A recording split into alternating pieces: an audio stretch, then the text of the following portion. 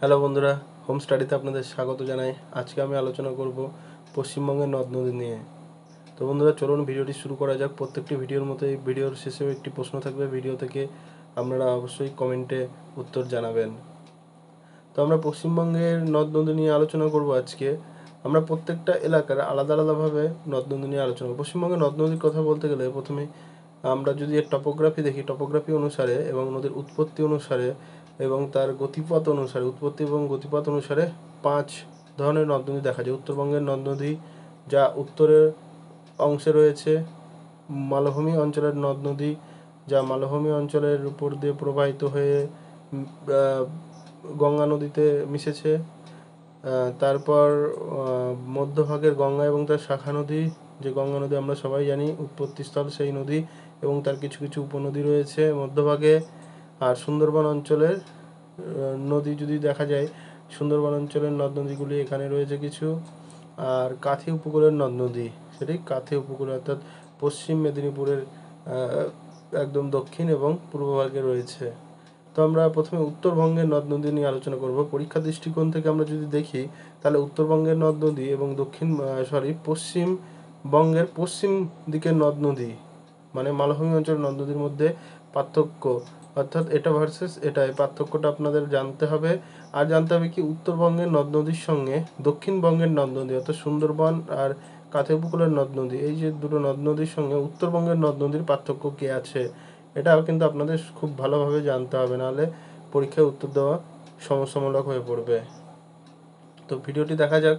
আমরা প্রথমে যদি খুব সুন্দরভাবে দেখি, উত্তরবঙ্গের নদ নদীকে পাঁচ ভাগে ভাগ করা হয় উত্তর সরি পশ্চিমবঙ্গের নদ নদীকে পাঁচ পাঁচ ভাগে ভাগ করা হয় উত্তরবঙ্গের নদ নদী উত্তরবঙ্গের নদ নদীর মধ্যে প্রধান নদী হচ্ছে কি তিস্তা নদী। এই তিস্তা নদী সিকিমের জেমু হিমবাহ থেকে সৃষ্টি হয়ে দার্জিলিং এবং জলপাইগুড়ির মধ্যে প্রবাহিত হয়ে সেটা বাংলাদেশের যে যমুনা নদী রয়েছে, সেই যমুনা নদীতে গিয়ে পড়েছে।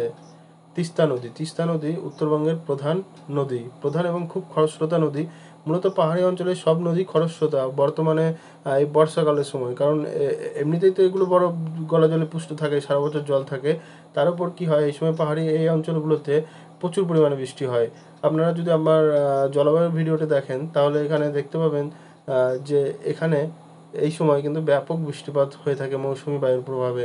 তো বিশেষ করে কোচবিহার অঞ্চলে ব্যাপক বৃষ্টিপাত হয়ে থাকে। যার ফলস্বরূপ এখানকার যে নদ নদীগুলি সেগুলি কিন্তু ব্যাপক বন্যাপ্রবণ, উত্তর ভারতের নদ নদী তিস্তা নদী। এর পরবর্তী নদীটি হলো জলঢাকা নদী, যেটি ভুটান এবং সিকিমের সীমান্ত থেকে উৎপত্তি লাভ করে সে একই বাংলাদেশে প্রবেশ করেছে জলপাইগুড়ি এবং কোচবিহারের মধ্যে দিয়ে গিয়ে। তারপর যদি আমরা দেখি তোসরা তোসরা নদী উত্তরবঙ্গের একটি গুরুত্বপূর্ণ নদী। এই নদীও প্রবাহিত হয়ে কোচবিহার এবং আলিপুরদুয়ারের মধ্যে দিয়ে প্রবাহিত হয়ে যমুনা বাংলাদেশের যমুনা নদীতে পড়েছে। তা আমরা যদি এরপরে একটি উত্তরবঙ্গের গুরুত্বপূর্ণ নদীর কথা বলি, তাহলে সেটা হবে মহানন্দা। এই মহানন্দা নদী দার্জিলিং থেকে উৎপত্তি লাভ করে। এটি অনেকটাই প্রবাহিত হয়েছে, কিছুটা বিহারের মধ্যে দিয়ে, কিছুটা উত্তর দিনাজপুর, দক্ষিণ দিনাজপুরের মধ্যে দিয়ে প্রবাহিত হয়ে মালদা প্রবাহিত হয়েছে। মালদার পর সেটি বাংলাদেশে প্রবেশ করেছে এবং গঙ্গা নদীতে মিশে গেছে। এখানে কি? এখানে মালদাতে আমি বলেছিলাম, এই মহানন্দা নদীর পূর্ব দিকটা দেয়ার আর যে দিকটা আহ, বাদিক অর্থাৎ আমরা যদি মানচিত্র দেখি মানচিত্রের উপর থেকে নিচের দিকে নামছে মহানন্দা নদী এর ডান দিকটা হচ্ছে দিয়ার আর বাঁ দিকটা বরেন্দ্রভূমি। তাহলে উত্তরবঙ্গের প্রধান নদী তিস্তা তিস্তা ছাড়াও আমরা মহানন্দা নদী এবং তোসরা জলঢাকা নদীও দেখলাম। প্রত্যেকটি নদী খরস্রোতা নদী। বরফ গলা জলে পুষ্ট নদী, আমরা যখন পার্থক্য পড়ব, এই পার্থক্যগুলো আপনাদের মনে রাখতে হবে, এই বৈশিষ্ট্যগুলো, যে এই নদীগুলি পাহাড় থেকে সৃষ্টি হয়, এই নদীগুলি খুবই খরস্রোতা, এই নদীগুলি বর্ষার সময় বেশিরভাগ নদীতেই বন্যা দেখা যায়, এই নদীগুলি বরফ গলা জলে পুষ্ট সারা বছর জল থাকে, এই পার্থক্যগুলো আপনাদের মনে রাখতে হবে। এবার পশ্চিমবঙ্গের পশ্চিমে যে মালভূমি রয়েছে, মালভূমি অঞ্চলের প্রধান নদীর কথা বলতে গেলে বলতে হয় এখানকার দামোদর নদীর কথা। দামোদর নদীকে বাংলার দুঃখের নদী বলা হয়। কারণ এই নদী প্রচুর পরিমাণে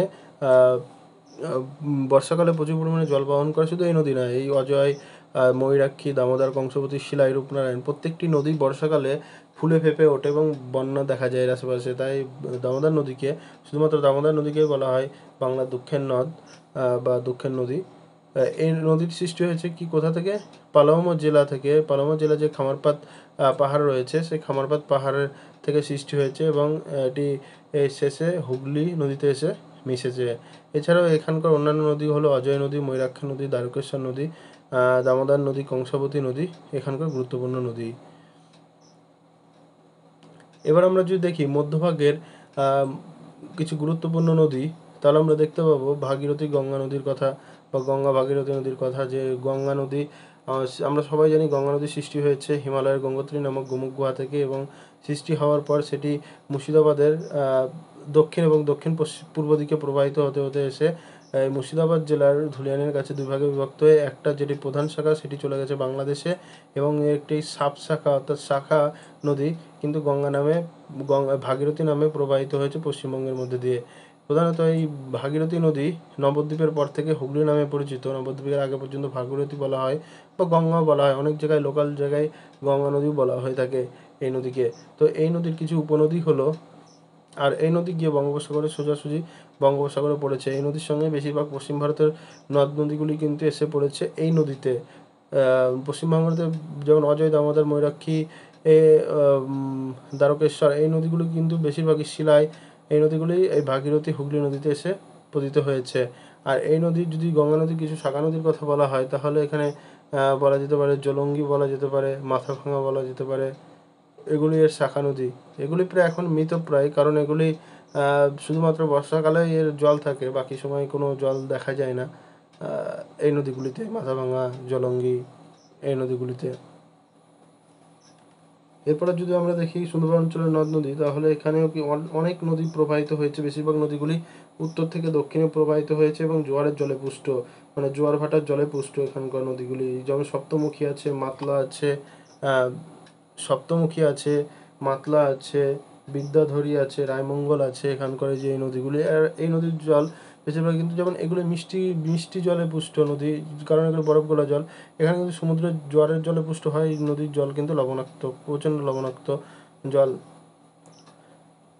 সুন্দরবন অঞ্চলের। এ হলো নদ নদী। এছাড়াও এখানকার নদ নদীর বিশেষ বৈশিষ্ট্য হলো যে এরপর যদি আমরা দেখি কাথি উপকূল অঞ্চলের নদ নদী, এখানে কোনো বিশেষ নদ নদী নেই। এখানে মূলত দুটো নদী দেখা যায়, একটা হচ্ছে রসুলপুর একটা চম্পা। এই নদীগুলি জোয়ারের জলে পুষ্ট এই কাথি অঞ্চলে। তো বন্ধুরা এবার আমরা শেষে আলোচনা করব যে উত্তরবঙ্গের এবং দক্ষিণবঙ্গের এবং উত্তরবঙ্গের এবং পশ্চিম অঞ্চলের নদ মধ্যে পার্থক্য কী যেটা পরীক্ষার দিক থেকে খুব কিন্তু খুবই গুরুত্বপূর্ণ। আপনাদের এই বিষয়ে যদি কোনো জানার থাকে কোনো কিছু তাহলে আপনারা অবশ্যই কমেন্টে জানাতে পারেন। আর কোনো বিশেষ বিষয়ে যদি আপনারা ভিডিও বানাতে চান বা আলাদা আহ, জানতে চান তাহলে সেটা আমাকে বলতে পারেন। আমি এখন প্রধানত দেখে নিই উত্তরবঙ্গের নদ নদী। উত্তরবঙ্গের নদ নদী কি? উত্তরবঙ্গের নদ নদী প্রথমে হচ্ছে বরফ গলা জলে পুষ্ট, তাই সারা বছর জল থাকে। ঠিক আছে? এবার যদি আমি পশ্চিম ভারতের নদ নদী দেখি বরফ গলা জলে পুষ্ট নয়, এক নম্বর, দু নম্বর, সারা বছর জল থাকে না। কারণ এটি মালভূমি অঞ্চল থেকে সৃষ্টি হয়েছে। আর মালভূমি বরফ জমার পক্ষে যথেষ্ট উঁচু নয়। এখানে যেমন বেশিরভাগ নদ নদীগুলি কি অনেক উচ্চতা থেকে সৃষ্টি হয়েছে, অনেক উঁচু উঁচু পাহাড় থেকে যেখানে বরফ জমে থাকে। ঠিক আছে? তাহলে আর কি এটি বর্ষাকালে এগুলি বন্যা হয়ে থাকে, এখানেও বন্যা হয়ে থাকে। ঠিক আছে? তাহলে এটা পার্থক্য না, এটা সাদৃশ্য। আর কি পার্থক্য রয়েছে? এখানকার নদীগুলি বেশিরভাগ উত্তর থেকে দক্ষিণে প্রবাহিত হয়েছে বা দক্ষিণ পূর্বে প্রবাহিত হয়েছে।